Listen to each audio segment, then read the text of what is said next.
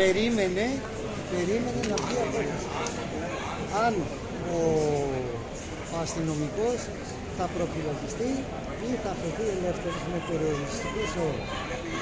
Καταλαβαίνετε κι εσείς τα μέσα μαζικής ενημέρωσης ότι εδώ πάνε, δεν, δεν το πιστεύω προσωπικά, ότι πάνε να αποσυκαλύψουν και αυτό το θέμα με το Κώστα το Φραγκούλη, όπως έγινε και με το Σαμπάνι τον Νίκο.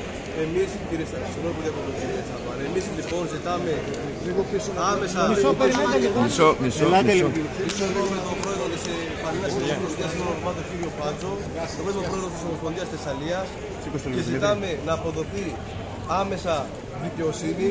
Δεν πρέπει αυτό το γεγονός να, να υπάρχει καθόλου συγκάλυψη. Και εμείς θέλουμε να στείλουμε ένα μήνυμα σε όλη την Ελλάδα όλοι οι τσιγκάνοι να πάνε στα σπίτια τους δεν χρειάζεται αυτή τη στιγμή να κάνουμε ούτε διαμαρτυρίες κάνουμε έκκληση να υπάρχει αυτοσυγκράτηση αλλά πρέπει σήμερα να αποδοθεί δικαιοσύνη. Η απόφαση του προσωρινή τώρα που βγήκε ένα-ένα που διαφέρουν- που διαφώνησε εισαγγελέα και προανακριτής, ε, εμείς δεν τη δεχόμαστε. Τώρα δεν ξέρω τι θα αποφασίσει το Συμβούλιο. Ζητάμε άμεσα δικαιοσύνη για να επιστρέψουν όλοι οι τσιγκάνοι στα σπίτια τους, να τιμωρηθούν οι, οι παιδοί, να, να τιμωρηθεί ο συγκεκριμένος αστυνομικό και εμείς καταδικάζουμε οποιαδήποτε μορφή βίας από όπου και αν προέρχεται. Θέλω τώρα να δώσω το λόγο στον πρόεδρό μας της